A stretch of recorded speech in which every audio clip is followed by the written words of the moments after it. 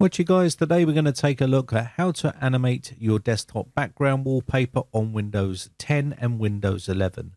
Now, if we look inside the personalization of Windows 11 here, you can see we can change the picture, solid color, or slideshow. We can't add a video. But what if I told you we can do all of this with a simple program called Lively Wallpaper?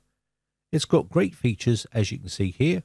It's fully customizable you can use dynamic and interactive uh, web pages, 3D applications, and audio visualizers as wallpapers. You can use multiple screens. You can also uh, download plenty of different uh, wallpapers from their website, which I'll show you in this video. So go to the download section here. You've got two options. You can either download the installer or you can download it from the uh, Microsoft Store here. Here we have our system requirements that is needed to run this application. You can download the installer or get it from the Microsoft Store. So I'm going to get it from the Microsoft Store because this way we will receive updates as and when they release them. So hit the get button and it will redirect us to the Microsoft Store where we can download the application. This way we receive updates when they release them. Now if you've blocked the Microsoft Store you will need to use the installer to download it and get it installed on your computer. So let's go ahead and get this and click on the get button to download and install it. On startup of the program, you'll see, do you want to start this with Windows? I'm going to say yes. And now we can choose a taskbar theme here. So this basically gives us the option to make our taskbar transparent or clear. You can click on this and it will make your taskbar disappear here. Or you can have it as a blur if you want to. And again, we can change this to some other options which are available in the taskbar theme. You don't have to enable this feature. You can leave it off if you wish, whatever really floats your boat really. So I'm just going to leave this as off and move on to the next section. So let's go next. And that is now complete. So very simple install.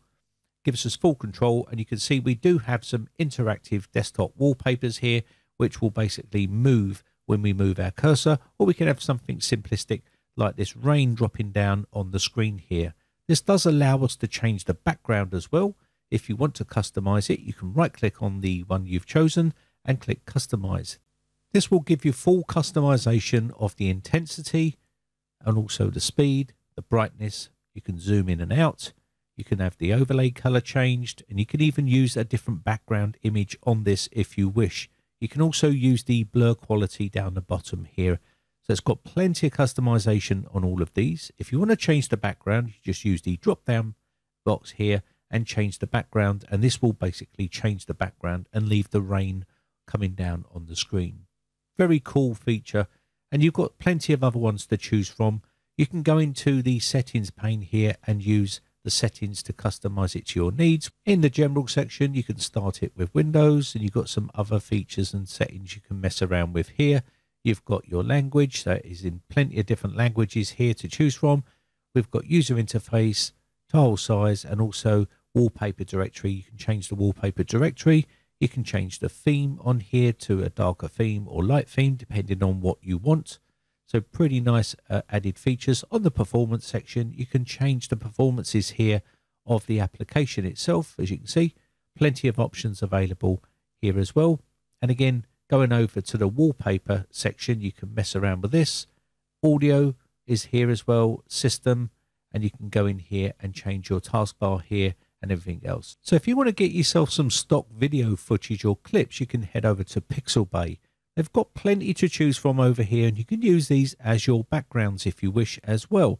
I'll show you how it works. There's plenty of them on here to choose from, whether it'll be some sort of uh, scenic view or whether it be some sort of time lapse or something like that. You can use any of these videos. You can see they're free for commercial use as well. You can choose the size here and download these and no attribution is required, although it is preferred to support the uh, person that created the content. And you can see pretty cool videos here. All you need to do is go into the settings here to add a wallpaper, hit the browse button and browse to the video that you've chosen and click open and it will then change this and give you the option to make some changes to the title, description, author, website, and then you can basically make a load of changes here and click OK.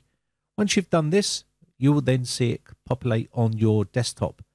And we'll have a look at this right now. So let me just click OK here. Now, some of these are going to be pretty intensive to run, I should imagine, depending on uh, what type of file it is. This is a 4K file, and as you can see here, it's running on this little Wi-Fi system here.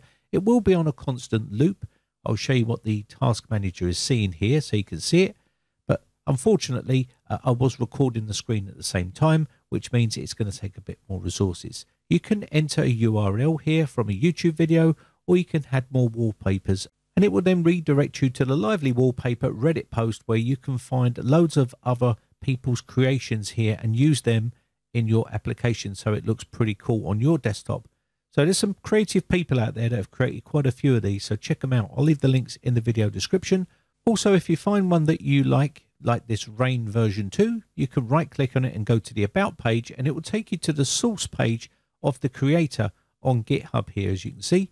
And this is the person that's created this rainfall one, which I think is absolutely awesome. It will give you all the information about how they created it and what they used. For instance, features here, 30 frames per second, uh, look to reduce the uh, GPU usage, and there's 13 customizations and stuff like that on here. Gives you the credit of the people that created it as well. So it's very useful to have that, and you can check out some of their other work if they release them. Now, going down to the bottom right hand side here, you can right click on it and basically pause the wallpaper if you wish, or you can turn it off and exit it depending on what you want to do. And if you exit it, it will just basically take you back to the default wallpaper that you had at the very beginning before you installed it. So a pretty cool feature. Now I can see this program growing over time. It's going to get really, really popular. And again, if you like changing your wallpaper and you just don't want a static wallpaper like you see on the screen right now, and you want to add some sort of uh, animation to it, then try out Lively Wallpapers, a pretty good option for uh, live wallpapers on the desktop. Anyway, that's about it for me. My name has been Brian from briteccomputers.co.uk. Just want to say a big shout out to all my YouTube members who have joined my YouTube members group. Your names are rolling up on the screen right now, and I shall see you again for another video real soon. Thanks again for watching. Bye for now.